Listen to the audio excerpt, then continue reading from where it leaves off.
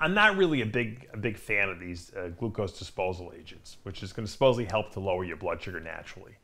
Um, you got cinnamon and chromium, and we know chromium really only works if you're chromium deficient. It doesn't do anything. Berberine seems to have somewhat of a, a similar effect to um, metformin. The problem is you can't quantify these things. That, that's my problem with these things. You, you don't really know how much to take. I found personally, just through experience with my own self, because I'm a little, you know, my blood sugars can run high a little bit if I eat too many, uh, too much carb. If I eat like pizza and stuff like that, that's very calorie dense with a lot of fats. I find that my blood pressure, my blood pressure, my blood sugars can stay a little elevated in the 120s and 130s um, for longer than I would like. And what I found is that the best thing that lowers it, I've done experiments with all these different things, is um, fish oil, okay?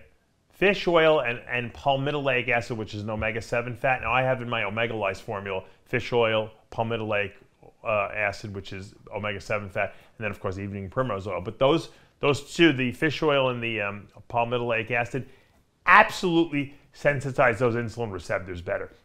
And there's no better evidence for that than if you're dieting and, you, are having trouble losing weight, a lot of bodybuilders, especially back for the 90s and, and used to do this in the 2000s, you go to an all fish diet and boom, the weight starts coming off you because fish, because of the you know good fats in there, the fish oils, omega-3 fats, sensitize insulin receptors and make you much more insulin sensitive. You produce less insulin to absorb the same amount of you know glucose from the bloodstream, and that to me works really well. I'm not saying berberine and some of these um, cinnamon, all these other things don't have its place and don't work, but they're just unquantifiable, meaning that you don't really know how much to take to get any benefits, and you don't really know if it's even working or not. So, um, if your blood sugars are running high, okay, the, when I'm talking about high, I mean when you test your fasting blood sugar in the morning, if it's over, um, if it's over 90, that's considered a little high, but if it's over 100 or at the 100 mark or over, you're high at that point, you might be wanting to look into taking a longer acting insulin